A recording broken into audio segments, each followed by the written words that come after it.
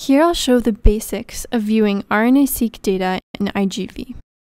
We'll use human genome 18 as a reference, and liver RNA-seq data from the IGV hosted server.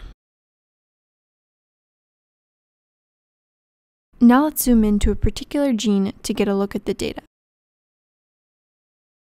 The most striking difference here from regular DNA sequencing data is that there are abrupt and dramatic changes in read coverage.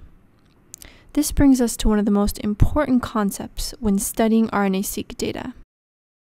Let's say that we want to understand the expression of a single gene.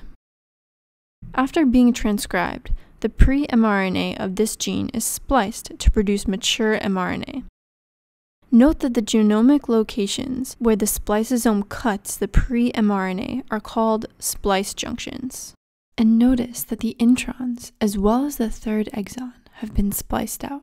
The mature mRNA is then reverse transcribed to cDNA and sequenced, giving us reads that span multiple exons.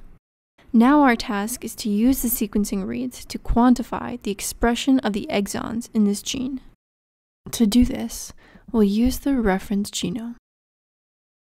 The problem is that some reads don't map exactly to the reference genome because they're missing the sequences that were spliced out. So in order for them to map, they need to be split. When many reads spanning this gene are split and aligned, we can clearly see that only the first and second exons are being expressed, which makes sense because the third exon was spliced out of the pre-mRNA.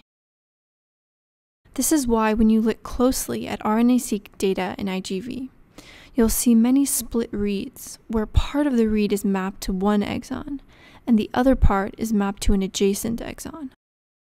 This read, for example, is split across two exons. We can confirm that these are two pieces of the same read by checking the read name in the pop-up menus. But to make it easy to tell which reads are split, IGV displays a thin blue line that connects pieces of the same read. One helpful tool for visualizing splice junctions in IGV is the Splice Junction track, which you can enable by right-clicking the alignment track and selecting Show Splice Junction Track. The Splice Junction track serves as a visual representation of the breaks in read coverage due to splicing.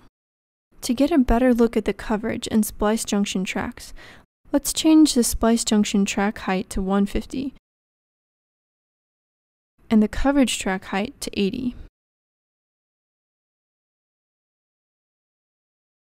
In the splice junction track, the red arcs extending above the center line represent splice junctions on the plus strand, whereas blue arcs extending below the center line represent splice junctions on the minus strand. The thickness and height of the arcs are proportional to the number of reads that span a given splice junction. This splice junction, for example, spans more reads than this splice junction. If you click on the splice junction track, you can see the exact number of reads that span the junctions in the location you clicked. Well, it looks like there are three splice junctions where we clicked, but it's difficult to see all three because they're all overlapping. However, if we right click and select Expanded, we can see all three junctions on separate tracks. Now we can click on the individual splice junctions to see the number of reads spanning each.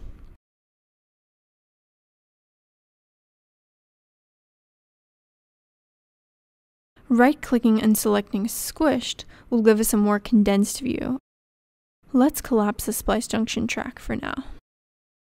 When you're exploring RNA-seq data, you may come across a section of data like this, where the coverage doesn't appear to match the gene annotation track.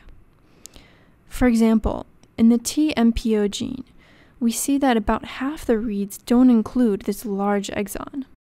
If we right-click the gene track and select Expanded, we can see why. In two isoforms of TMPO, this large exon is spliced out, which is why we see so many reads without it. You might have also noticed these black lines above regions with high coverage. These black lines indicate regions where the data has been downsampled, meaning that in regions with very high coverage, IGV puts a cap on the number of reads shown in order to save memory. You can change this number by going to the View menu, Preferences, and in the Alignments tab, change the Max Read Count, or disable downsampling altogether. Note that the coverage track always shows the total number of reads, even in downsampled regions. Thanks for watching. Be sure to check out our other IGV tutorials.